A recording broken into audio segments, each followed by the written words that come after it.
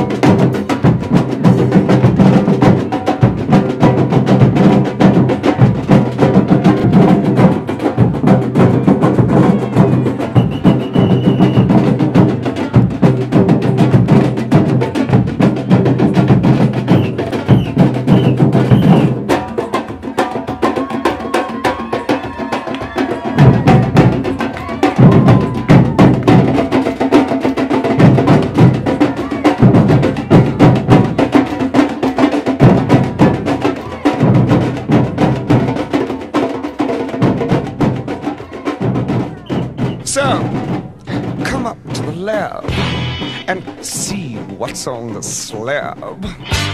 I see you shiver with anticipation. It's just a jump to the left. With your hands on your hips.